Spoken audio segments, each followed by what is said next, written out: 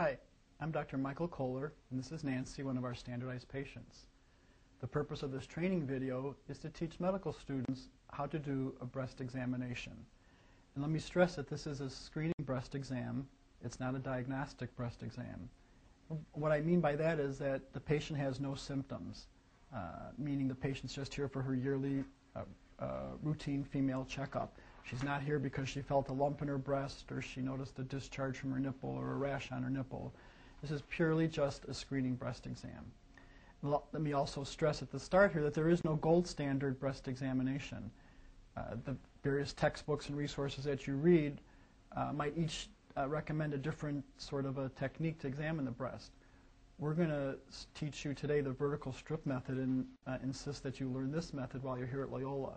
Again, there's other methods and those uh, might be demonstrated by other physicians you work with, but for training purposes, we want you to be comfortable doing the vertical strip method. Probably the most important thing about doing a clinical breast exam, though, is not which specific technique you use, vertical strip versus concentric circles or so forth. It's the amount of time and the technique that you use doing the breast examination. Uh, you need to be systematic when you do the search for uh, lumps and abnormalities. You need to be very thorough. You need to use varying levels of pressure, especially when you get around the areola or nipple where the most amount of breast tissue is. Uh, you should probably be doing two or three levels of pressure with your circular sweeps at that position. A superficial uh, circular motion, a medium, and then a firmer or deeper uh, palpation, which is closer to the chest wall. None of that should be painful to the patient, uh, but it might be a little bit uncomfortable as you press more deeply. You're going to again use your three middle fingers and use your finger pads. You don't want to be jabbing at the patient with your fingertips. And also it's important to make sure your fingernails are trimmed. You don't want to be, when it's time for the axillary lymph node exam, have long fingernails that are going to be hurting the patient when you do that examination. And when you actually do the palpation, you're going to be making circular motions uh, about as if you're sweeping around the size of a dime or a, a nickel. Of course, it's always important to be attentive to the patient's draping during a breast examination. It's usually best to have the patient adjust her gown and her sheet herself rather than you as a doctor just sort of willy-nilly mo moving her gown or draping sheet. Again, you want to protect the patient's modesty and privacy. Privacy. Make sure that the door is shut uh, completely, that it's not just uh, ajar. Before you do the breast exam, too, ask about the woman's uh, menstrual cycle if she's still menstruating, because there is an appropriate time to do the breast exam. Uh, again, a menstruating woman, you should do the breast exam about five to seven days after the onset of the period. You don't want to do it just before the period because then the breasts are somewhat uh, stimulated and engorged from the hormonal stimulation. So Nancy, how long ago has it been since your period? One week. About one week. So again, this is the ideal time to, to do the breast examination. If a woman is postmenopausal, you know, any day of the year is fine. If the woman's postmenopausal and on daily hormones, Again, any day is fine. However, if a postmenopausal woman's on cyclical hormones where she still has a period, then again the same rule applies, five to seven days after the onset of a period. Again, I can't stress enough too how important it is to be professional during this part of the examination. Uh, be very careful with the word choices that you make. Uh, tell the patient you're going to examine their breasts. Don't say you're going to feel their breasts or now it's time to touch your breasts. That can make the patient feel very uncomfortable, uh, and there's actually no place uh, for common or slang language uh, during this examination. And it's probably best also to have a chaperone in the room, especially if you have any sense of uneasiness about the encounter. It's always best to have a, a chaperone in the room and be cautious and prudent about that. So moving forward, let's talk about the actual breast exam itself. There's going to be three parts to the breast exam. Inspection of the breast with the patient seated at the edge of the exam table. Uh, the second part is where you're going to palpate for lymph nodes in both the axilla as well as the supraclavicular region.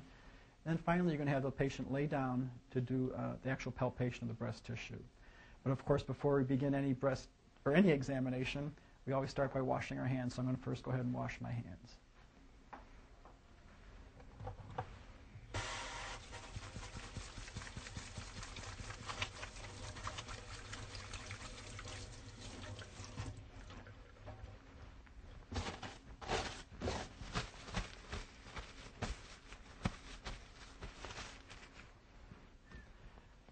Another technique that you could use for hand hygiene would also to be use the alcohol-based uh, hand gel. And again, if that's available in the room, that's an acceptable way uh, to cleanse your hands before the examination. So let's start off with inspection of the breast. So I'm going to, again, move in front of the patient. You can see she's seated at the edge of the table. And Nancy, I'll ask you to lower your gown to your waist. And there's four different positions we want you to inspect the, the patient. First of all, with their arms relaxed at the side, just like this. And as a physician, make sure you look not just in front of the patient, but look side to side and make sure you're seeing if there's any abnormalities uh, laterally in the breast tissue too. You're looking for things like uh, skin retraction, dimpling of the skin. You're looking to see if there's any discharge from the nipples. You're looking to see if there's any rash on the nipples also during this time. The second position is to ask the patient to raise their hands above their heads. And again, you're going to be inspecting from in front as well as on both sides. Good. The third position is to have the patient put their hands against their hips and press in. And of course, that tenses up the pectoral muscles and would bring out any deep uh, lesion from the chest wall or deeper breast tissue. And again, to look laterally as well as head on. And then fourth position for inspection, to have the patient lean forward while they're pressing in. This is especially a helpful maneuver if the patient's large-breasted or has pendulous breasts. And again, you want to look laterally as well as head on to see if there's any abnormality. And Nancy, I don't see any abnormalities, so you can go ahead and raise your gown up.